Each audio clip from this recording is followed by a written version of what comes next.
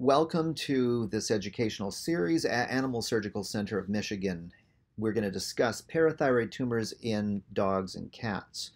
By far, we see a lot more dogs with this condition, but we on and off do see cats that also have parathyroid tumors.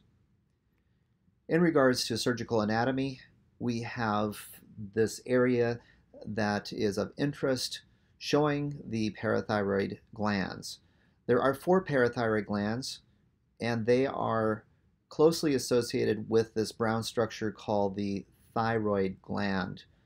Dogs have a thyroid gland both on the left and right sides of the neck, adjacent to this structure, which is the windpipe, and also closely associated with this very large vessel called the carotid artery, which has a vagosympathetic nerve within its sheath. Along the side of the trachea, or windpipe, there is a nerve called the recurrent laryngeal nerve, which is very important in function of the voice box or the larynx. Dogs that have paralysis of this nerve on both sides will have breathing difficulties. In regards to calcium metabolism, we need to understand a bit about what's going on to understand what's going on with a parathyroid tumor because in this disease we get abnormalities associated with calcium metabolism. What happens is a tumor or growth develops within a parathyroid gland, and this growth produces parathyroid hormone in excessive amounts. As a result, the calcium in the bloodstream increases much higher than normal. Parathyroid hormone will cause the bones to resorb calcium from the bone. Bone is rich in calcium.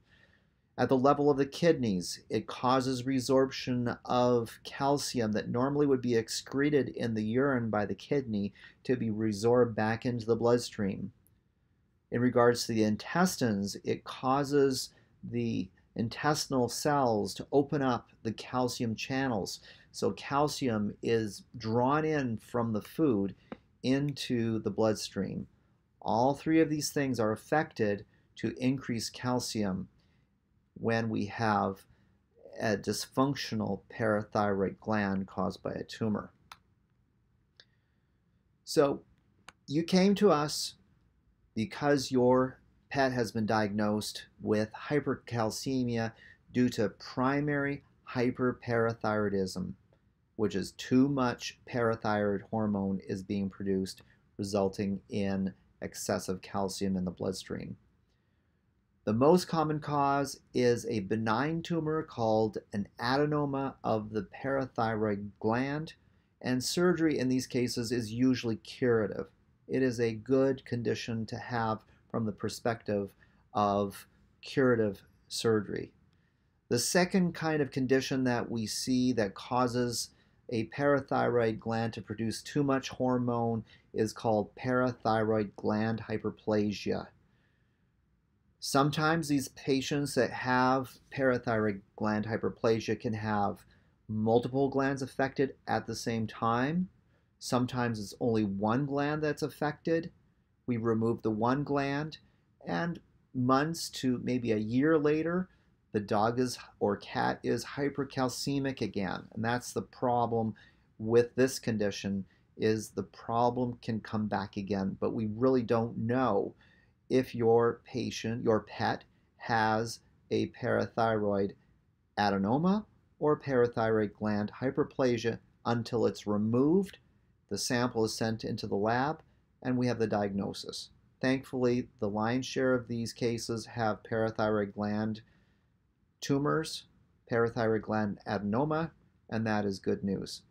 Occasionally, we will see a patient that has a parathyroid gland carcinoma, which is a malignant tumor. Usually, these still do not spread. Surgery is usually curative, but there's always that possibility it could spread and recurrence of the hypercalcemia can result, or the patient just does not normalize the calcium um, postoperatively, even though you remove the parathyroid gland tumor. And that's because the metastatic disease or spread of the tumor is also producing parathyroid hormone. but this is very unusual. Clinical signs of hypercalcemia from the perspective of the pet owner may include polydipsia, which is the patient is drinking too much. As a result of drinking too much, they have polyuria, which means they have too much production of urine. They pee a lot. Anorexia, lethargy, depression.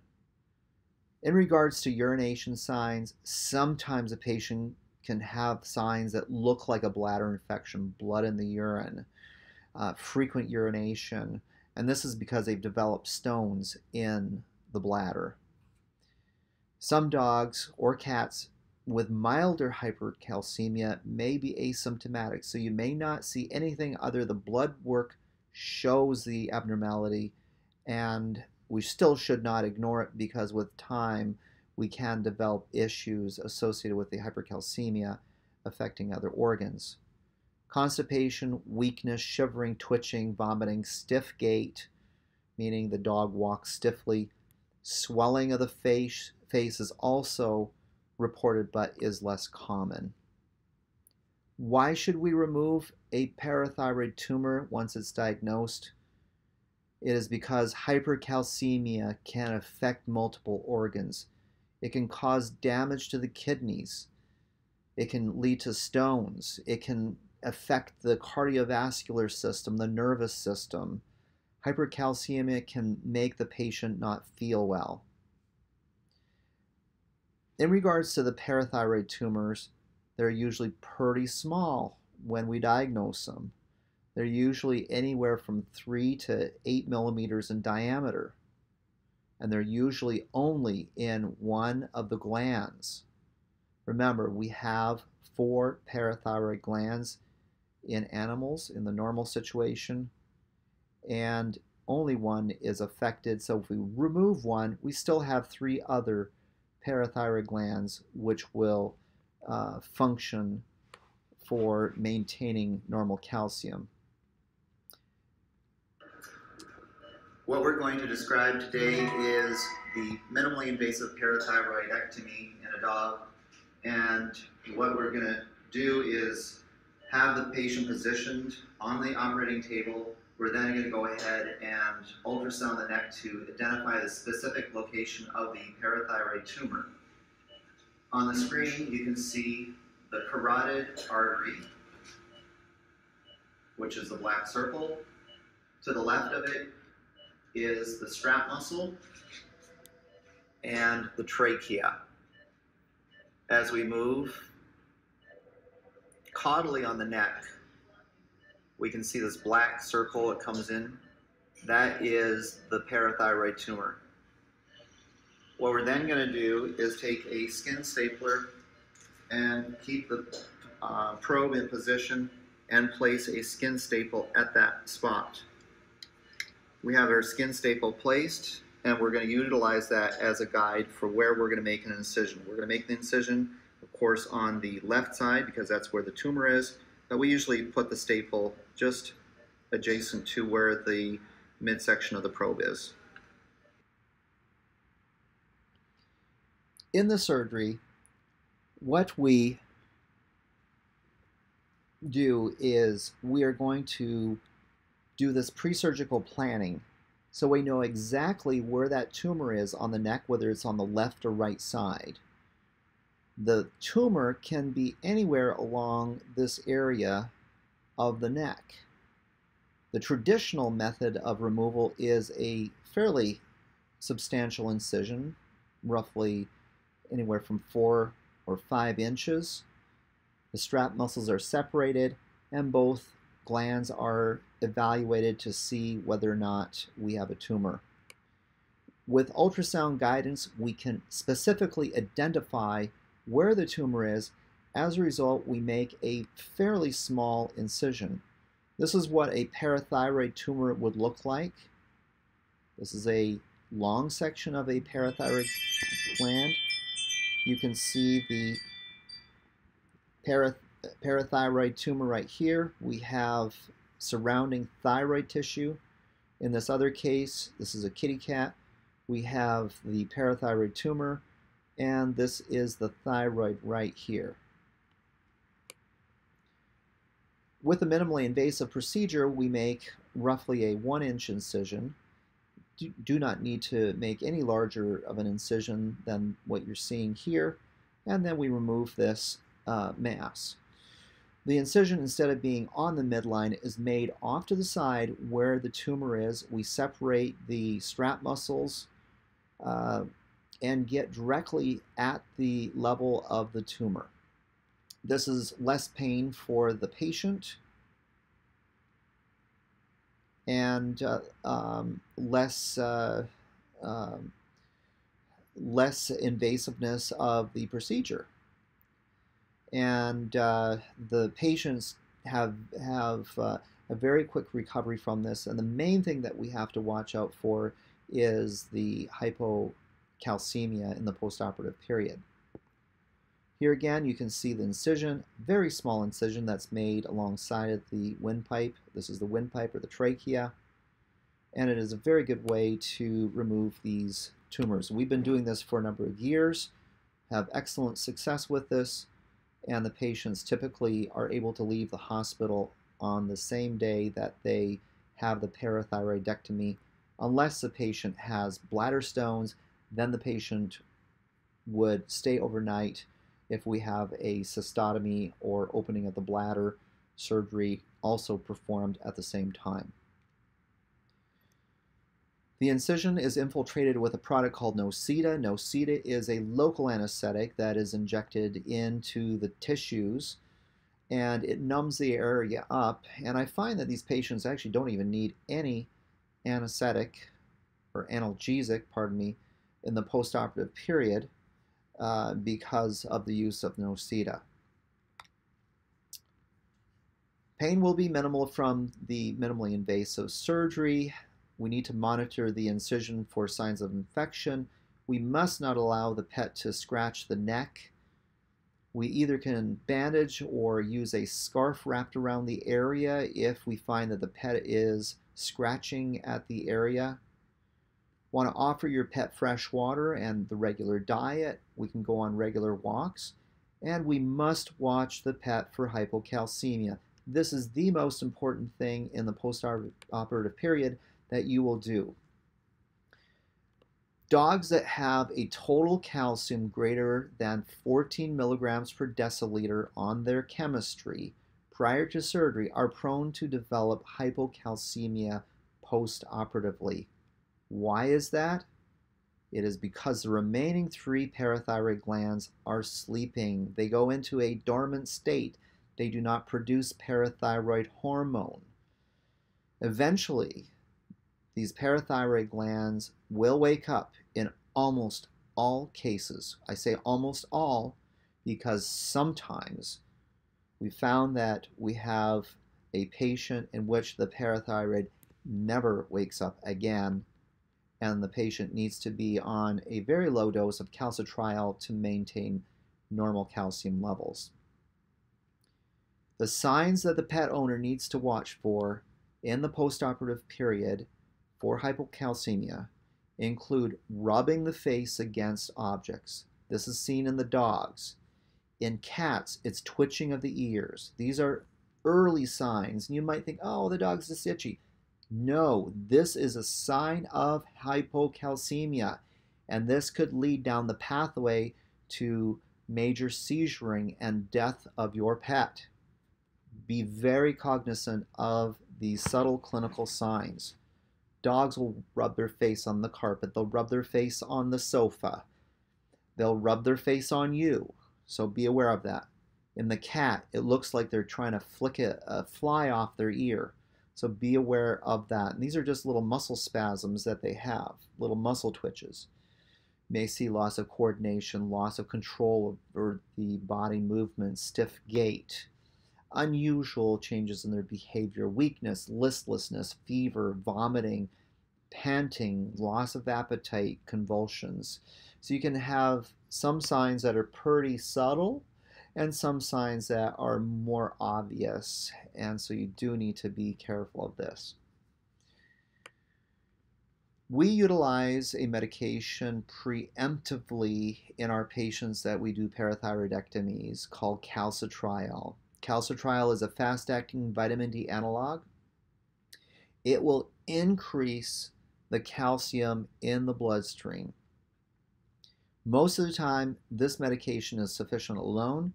You can also add on the calcium carbonate, which is your uh, TUMS.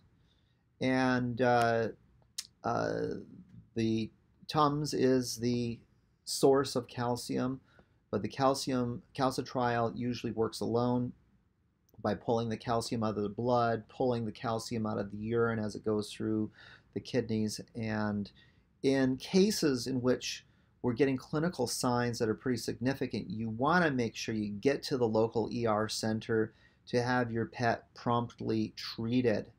And what is generally done is an IV catheter is placed, calcium gluconate is administered through the IV to bring your pet out of this state of hypocalcemia because it can be life threatening. Keep that ER facility number handy. You need to follow up with the ER facility uh, if you are seeing these clinical signs. Some surgeons choose not to uh, prophylactically put the patients on calcitriol in the postoperative period. These veterinary centers will hospitalize the patients for four or five days after surgery, do multiple ionized calcium levels on the blood in the postoperative period. Nothing wrong with it. It usually just means that the patient is going to A, stay in the hospital a lot longer, and B, it uh, means your pocketbook is going to um, be affected uh, quite a bit uh, more by this type of uh, intensive care. At our surgical center, we perform the parathyroidectomy on an outpatient basis and prescribe the medication prophylactically in all these patients. It is a very safe medication. We dose the patient at 20 nanograms per kilogram once a day at bedtime. On an empty stomach, it is absorbed better on an empty stomach, and we gradually wean these patients off the calcium or off the calcitriol uh, based on calcium blood testing that your primary care vet will do. Let's talk a little bit about calcitriol. It is a vitamin D analog that is very fast acting. It increases the absorption of calcium from food in the intestine, increases the absorption of calcium from the kidneys, releases calcium from the bones. It is best absorbed when given on an empty stomach. We typically recommend to give this at bedtime.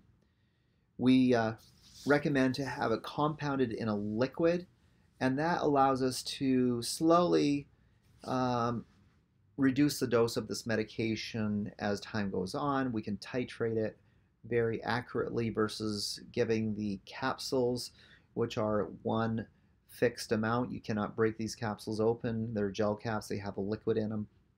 So you need to have it compounded for uh, a very easy transition in the postoperative period. Recheck evaluations are typically completed by your primary care veterinarian. We typically have you go around day three, sometimes day two after surgery, have that calcium level measured. You are to report that calcium level to the surgeon who has operated on your pet via text message or email, and he or she will then adjust the calcitriol dose at that time. Your primary care veterinarian will check the incision during the blood draws to ensure that the healing is taking place in an appropriate manner. Complications in the postoperative period may include hypocalcemia. We covered that in detail because that is your most serious and most common type of complication. The neck is a very sensitive area to be clipped, and dogs can develop a clipper irritation or so called clipper burn. If this does happen, a wonderful product called gentamicin combined with betamethasone valerate is wonderful. A spray of that three times a day will just take that clipper burn away. Um, it can this can be obtained through your regular vet or through Chewy.com or allivet.com. Any of these online pharmacies have this. Infection is extremely rare. Incision opening up from the dog or cat scratching obsessively at the neck area and scratching the incision open, death due to hypocalcemia, unilateral laryngeal paralysis. Remember, the recurrent laryngeal nerve runs along the side of the trachea. Very unusual that we have this kind of complication. In preparation for the surgery, we would like you to fill out the patient client information form that is on this web page, fill out the history form with the questionnaire that is on it, email that in to us, then obtain a treatment plan for one of our ASCM professionals. We'll give you an estimated fee of the surgery. Our assumption with that uh, treatment plan, with the estimated fees on it, is that we're going to have an uncomplicated recovery we will give you fasting instructions. We put these patients on Pepcid AC prior to surgery, uh, the morning of the procedure, just to cut the acid in the stomach and minimize hot heartburn in the postoperative period. And the other thing we'll want to take care of is we'll get a prescription filled for you for calcitriol. And this needs to be compounded. We use Delcoma Pharmacy, they're amazing they do send the medication uh, commonly uh, within a day or two to your home. They will call you for your credit card number and they will then um, get that medication shipped out to you promptly. If you are in their delivery zone, you'll get your medication that afternoon as um, the prescription is called in. Thank you very much. Feel free to give us a call get your pet scheduled in for parathyroidectomy by one of our skilled veterinary board certified surgeons.